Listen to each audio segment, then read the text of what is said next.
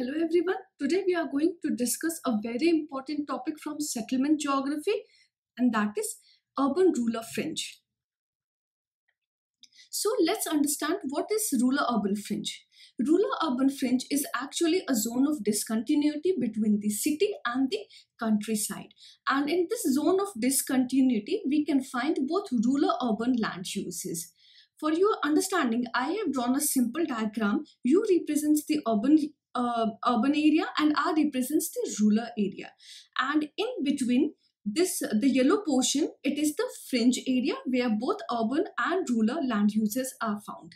The other diagram, uh, you can draw this diagram you can draw in your exams the center portion it represents the core build-up area which is the city area and the outside the rural hinterland that is the rural area.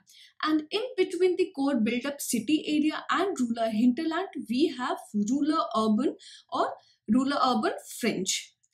This can be this rural urban fringe can be uh, divided into inner fringe and the outer fringe.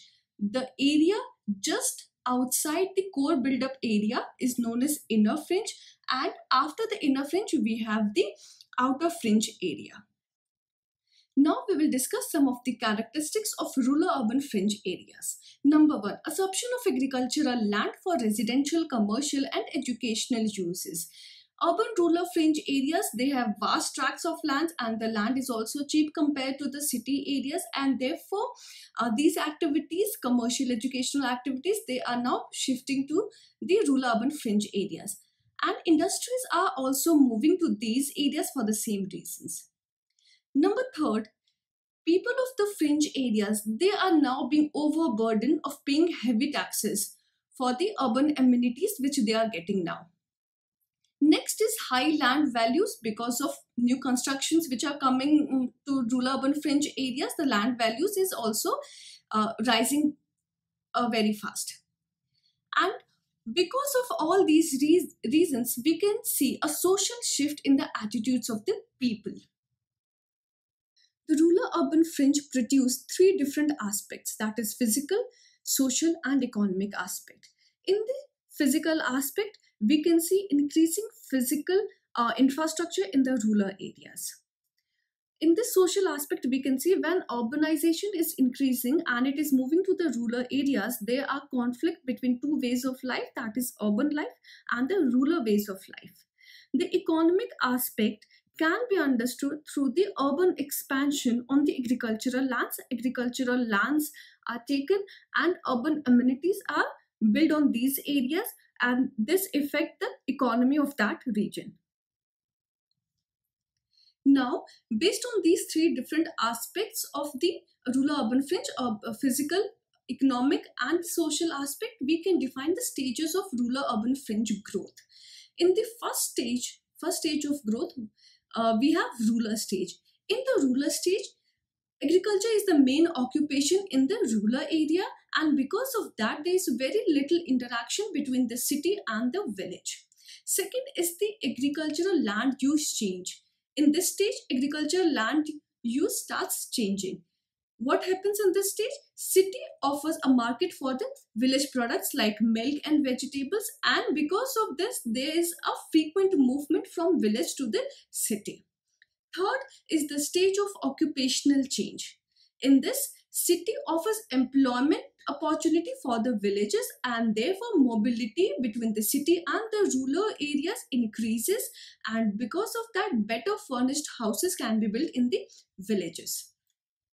Fourth stage is the stage of urban land use growth. Here in this stage, real estate agents start purchasing land in the villages and they start developing residential colonies in the uh, rural areas. Fifth is urban village stage. Here, fringe, this fringe area is converted into urban use. Urban colonies start uh, starts building in these areas and as a result, no agricultural land remains. Now we will see why there is increasing demand for land in the rural urban fringe area.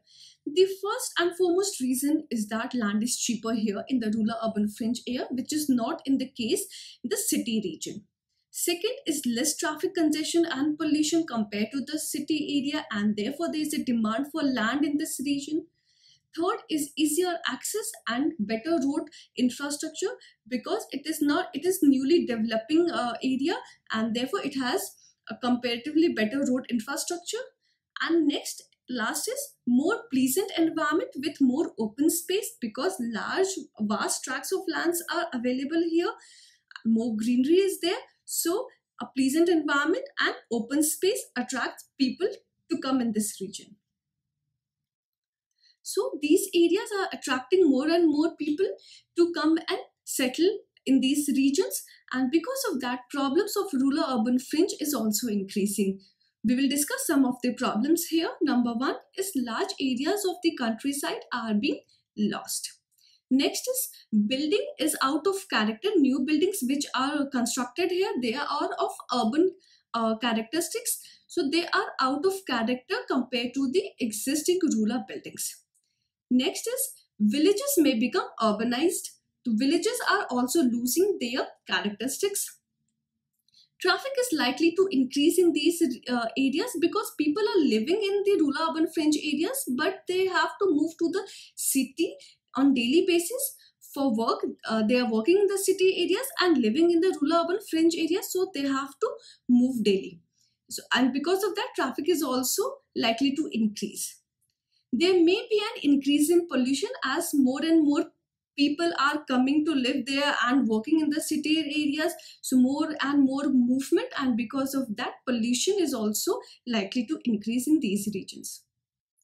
So here i have provided a case study of the fringe area.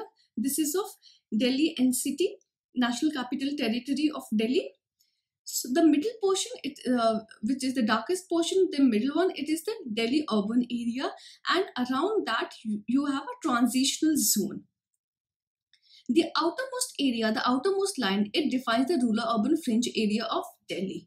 And you can see various regions like Bahadurgarh, Gurgaon, Faridabad. These all are lying around the uh, NCT region. Previously, we have discussed some of the problems which rural urban fringe areas are facing. Now we will see how we can manage it. First, enhance green infrastructure and green belts, we have to increase the green belts and green infrastructure in these regions. Second, we have to conserve and maintain the traditional farm buildings to preserve their traditional characteristics.